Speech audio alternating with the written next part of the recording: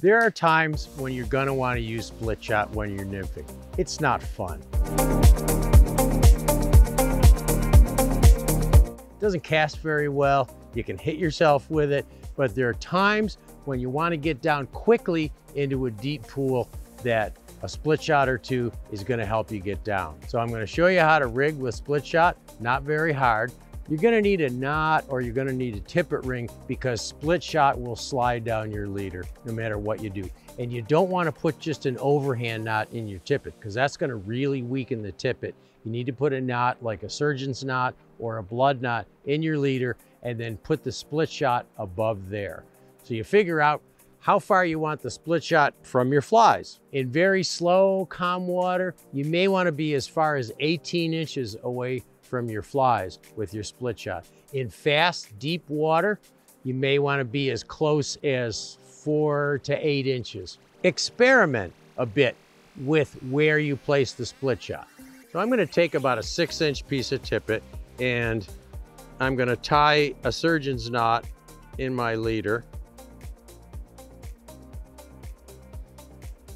It's another reason that I don't not wild about split shot because you have have to add an extra knot, uh, and extra knots can only cause you problems. But I don't know of a way to keep split shot from sliding, no matter what kind you use, without putting a knot or a tippet ring in your leader. So I'm going to tie this surgeon's knot in there, and then I've got you know maybe eight inches below there you're gonna put your split shot above this knot and that way it won't slide. Then another thing you can do is you can actually put your split shot on, on one of these tag ends if you'd like. That's fine too. And then sometimes you get hung up on the split shot and you pull on it and it'll come off. They put a little knot in the end, put a little overhand knot in the end of this tippet. You can put your split shot on there. That tends to tangle a bit more. And putting it in line is less likely to give you tangle. So I like to put it in line right on the leader. I'd advise you to start with the smallest split shot you think you need because it's really easy to add another small one. It's really tough to get this stuff off. You can sometimes pry it out with a, with a knife or with your fingernail, but uh, there's no easy way of getting split shot off. And if you put too much on, then you have to cut that knot, slide the split shot off, tie a new knot. So start with a small one. Start, start with the smallest you think you're gonna need.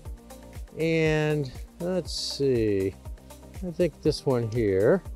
This water's pretty deep, so I'm gonna start with a kind of a medium-sized one. You do wanna use a pair of forceps because this non-toxic split shot is very hard. And if you use your teeth to crank down on it, you're gonna, you're gonna crack a tooth eventually. So what you do is you get your leader, and you find the little slot in the split shot and you just get it in that slot and then you crimp it tight with your forceps. And that'll slide down to the knot, but it'll stay there.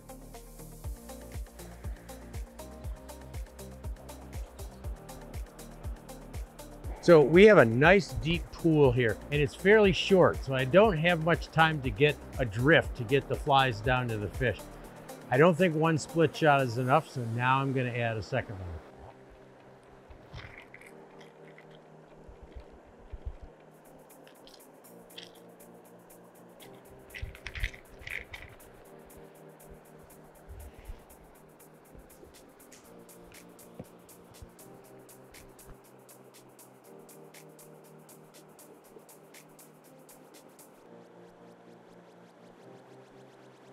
It's also a good idea if you're adding more weight, you need to get deeper, probably to bring your indicator a little bit higher up on your leader so that you can get more depth below the indicator.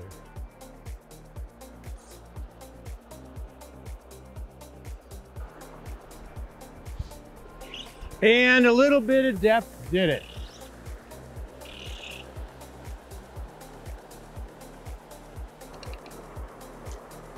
Oh, it was fast. So split shot, avoid it when you can, but there are some times to get really deep into a tight pocket, you need to put it on your leader.